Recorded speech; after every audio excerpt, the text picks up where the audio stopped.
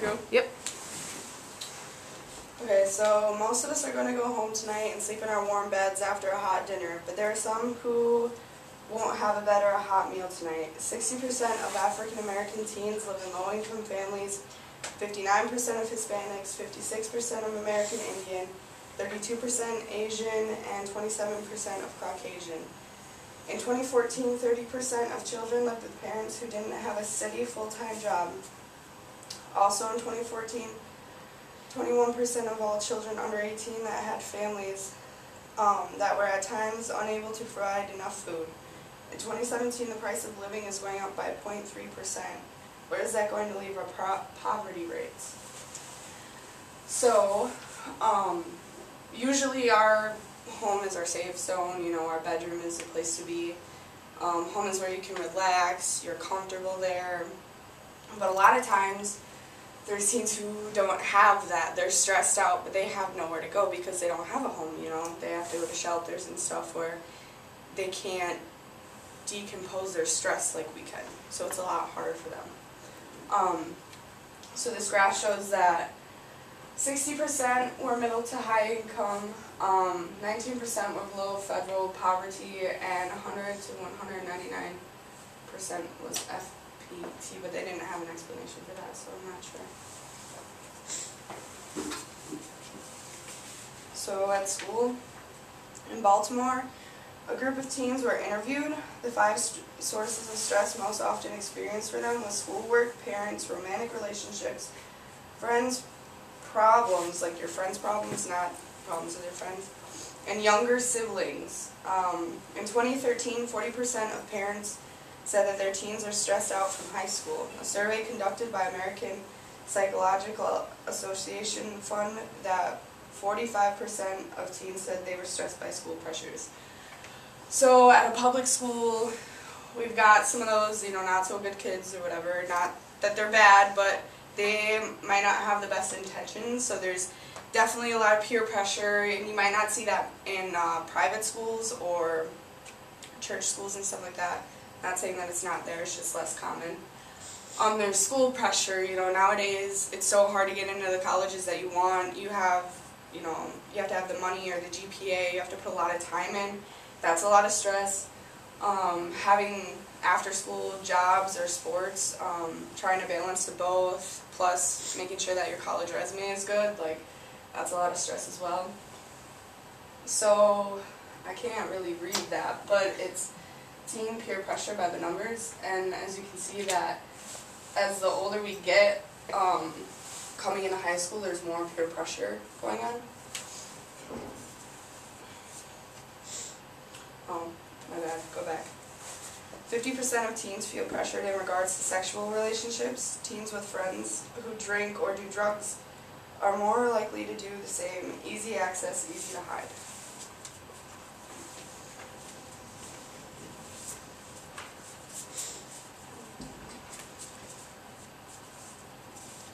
So we all try to live the most balanced life we can.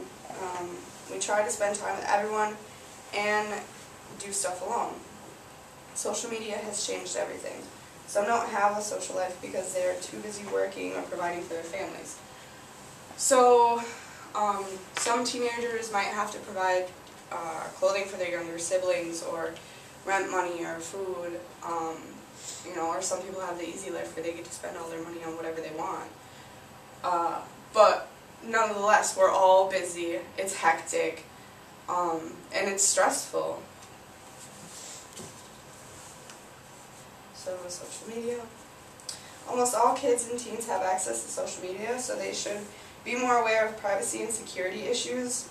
But what if you're only allowed to go on every once in a while because you don't have the money for the devices? Then these things to protect you are in the back of your mind. Young women show off their bodies on private accounts for money. 24% of teens, 13 to 17, go online pretty much constantly. 56% of teens go online several times a day. And 71% use Facebook. 71% also uses more than one social media network. So um, this is just numbers on, you know, what apps are used the most by teens.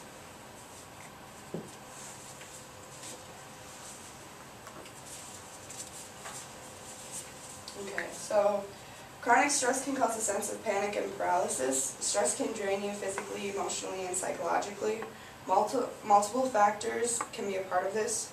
School at home life, sexuality, relationships, friends, jobs, college, etc.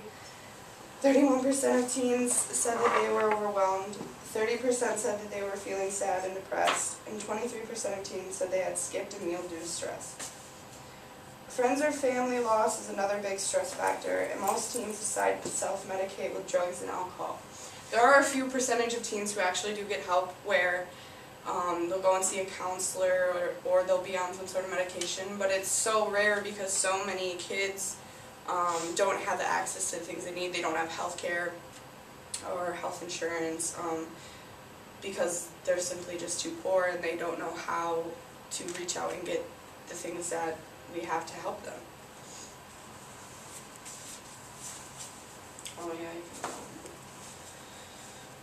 So, family and relationship with parents, um, usually you can trust your family, they care about you, it's you know a very loving atmosphere.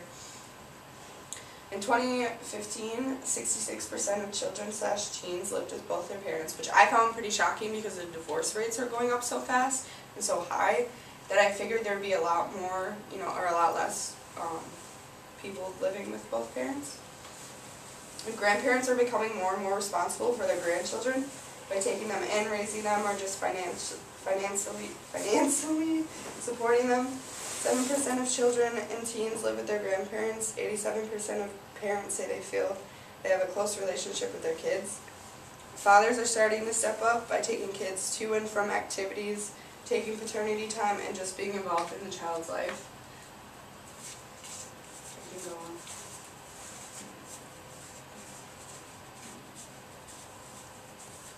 Seventy-two percent of all teens spend time with friends via social media. Friends can make things hard. Sometimes they can stress you out by always involving you in their problems, and they can pressure you into doing things. So you have like school friends where you only talk to them at school. You don't ever really do anything outside of school with them. You've got your real friends that you know you've been friends with since you were five, and you can go years without talking to them. But as soon as you meet up, it's like there was no time ever gone. And then you have your fake friends, the one that are just there because they want to see you not succeed. So body image, body image is a huge factor um, in teen stress and everybody's stress. Um, 69% of girls 5th to 12th grade said that magazines influenced their idea of a perfect body. After viewing images of female models, 7 out of 10 teens felt more depressed and angrier than prior to viewing the pictures. 90% of people with eating disorders are women between the ages of 12 and 25. Over half of teens and a third of teen boys, teen girls, and a third of teen boys use unhealthy weight control behaviors like smoking cigarettes, skipping meals, fasting, and taking laxatives. Approximately 91% of women and teens are unhappy with their bodies and resort to dieting. So most of the time they don't have good self-esteem. Eating disorders cause stuff like hair loss and um, your skin starts to go gray. Um, there's things like slut shaming, which we all know, and obviously media plays a huge role.